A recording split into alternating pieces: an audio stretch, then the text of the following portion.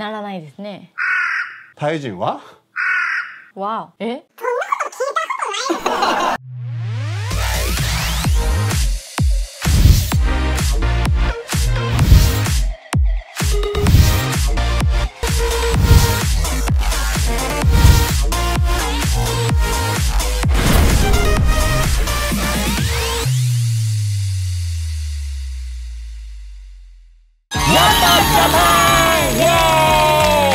วัสดี ส ครั วั บ สดีค่ะ ครับ คุณค่ะ やっぱジャパンですイエーイはい始まりましたやっぱジャパンチャンネルですけども、今日は今日は何を考えていきましょうかということですね、はいタイ人とうん日本人と体の作りが違うんですよはいはいその体の作りのね違いについて説明をしていきたしたいと思いいと思いますますやっぱジャパンはタイと日本を つなぐチャンネルです。タイの最新情報をはじめ日本人でタイ大好きなあなたへ。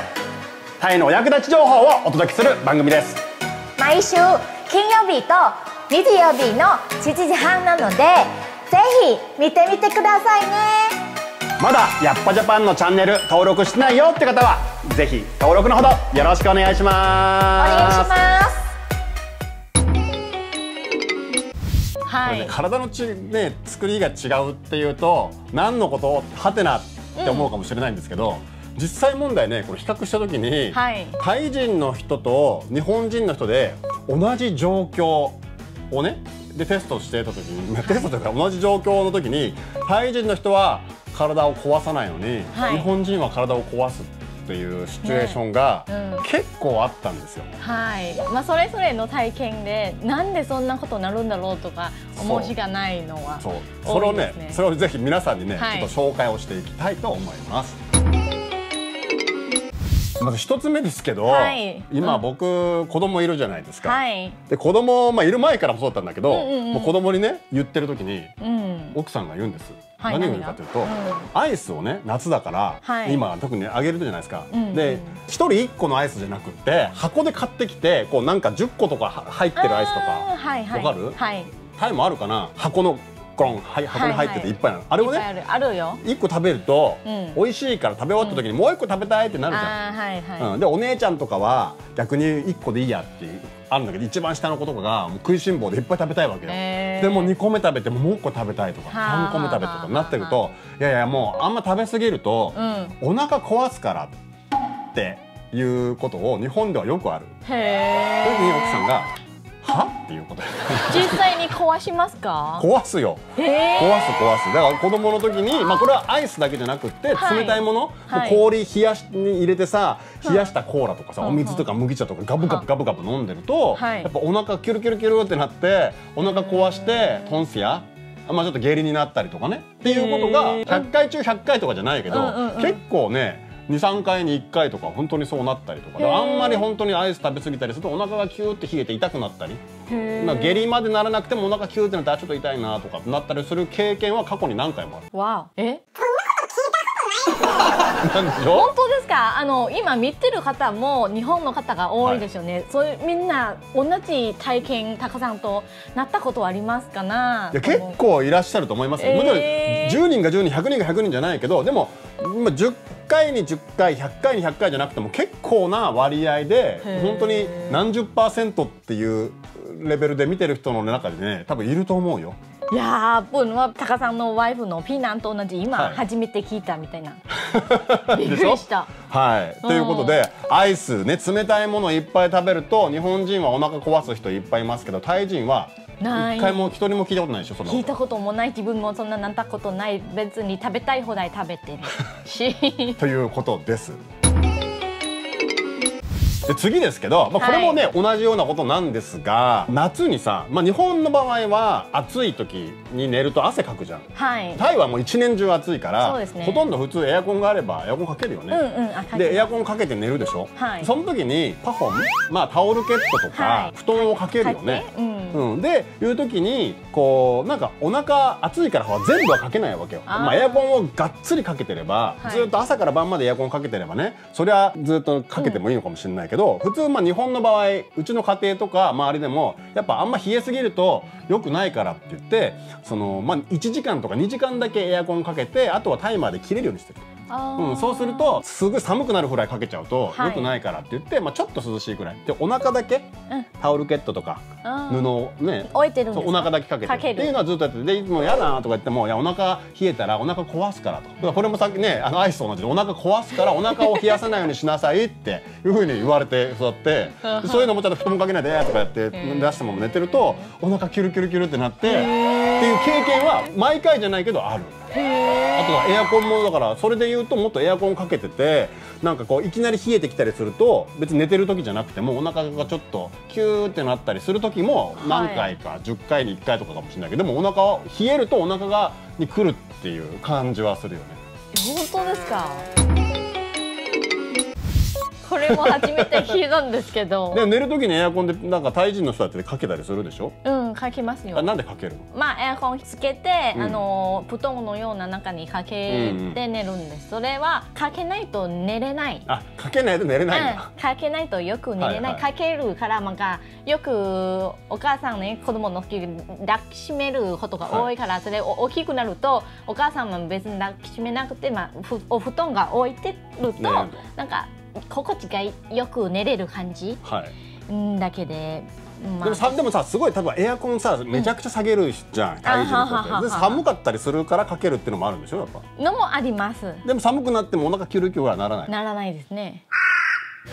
風邪ひいたりは？風邪ひいたりはもしあります。もしやっぱある、ね、すごいすごい寒いで寒いと？出てる間になんか布団の中に出ててから冷やしちゃって、うん、それ風にハッチュハッチュ風鼻水が出るとか、はい、風になるのがありますけど でもお腹だけなんか壊すのがないんですね。はい、ないんだね。っていうことなんですよ。アイスもそう、エアコンもそう。タイ人はお腹を壊すっていう経験は、はい、基本的に寒いとか冷たいもの食べて中が冷える外から寒い。で、お腹を壊すってことはない。ないですね。今聞くとなんか日本人の方お腹弱いですね。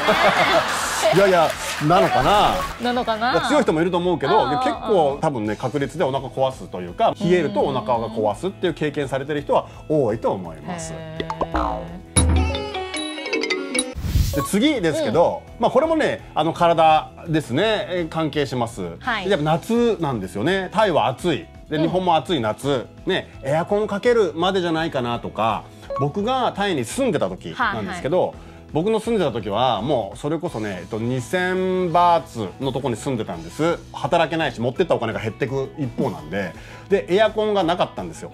でどうなるかっていうと、うん、まあ扇風機じゃないですか。だよねだよね。ね。はい、で扇風機をこう回して、うん、ずっと当ててないと汗だくになるわけよ。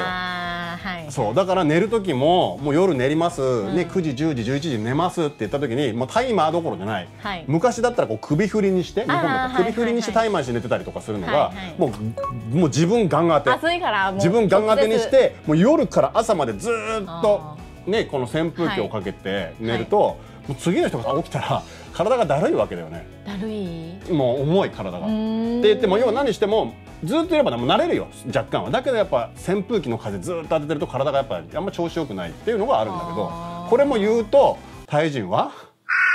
考えられないんですけど大きいから体だるいのが暑いだから、まあ、扇風機は汗出ないんですけど寝るベタベタならないんですけどでも暑いですよね、はいはい、それ暑いのせいで体だるくなるんじゃないかなと思うんですけど、うん、でも今考えて予想したらただもし自分もそんな寝たらね、うん、ずっと朝夜から朝まであの扇風機した、えー、ただ喉乾く感じ、うん、別にそれに対して体がだるくなったりはないと。むしろ扇風機をかけないで、はい、暑いよってなってる方が体がだるくなって疲れちゃう。そうそうそう。だから扇風機ずっと朝までもう当てておくと喉乾く。けど別にああ涼しく寝れたな。体がだるくなったり、うん、もうその体重いなって感じることそんなこと言ったら体重も笑うって感じでしょ？誰もいないでしょそういう人、これ僕もね奥さんとか友達っても、ね、みんな扇風機ずっと当ててて、えー、あのなんか、ね、なんか高さんなんかあの部屋なんか目見えないものをなんか。関係ない。関係ない。だから今うちでも,、はい。もう夏とかね扇風機ずーっと回しながら子供とか寝てますし、もうタイに行った時もずーっと当ててとかねエアコンかけてとか言ってもお腹壊さないですね、なんだろうって、ハーフだからとか関係なんだろうね強いて言うならばなんか子供の赤ちゃんの時になんかおお腹のおへその下ぐらいになんか茶色い日本で言ったらなんか赤チンの茶色みたいなのがなんかそういうのをなんかお腹の下に毎日塗ってたのなんか子供の。